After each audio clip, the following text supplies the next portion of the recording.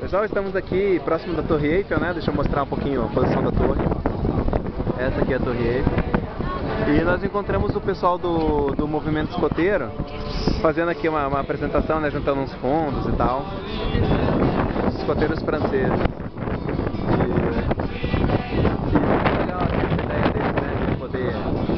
É, fazer né, essa apresentação aqui nesse lugar turístico. Feito, galera? Vamos dar um tchauzinho? diretamente para o Brasil.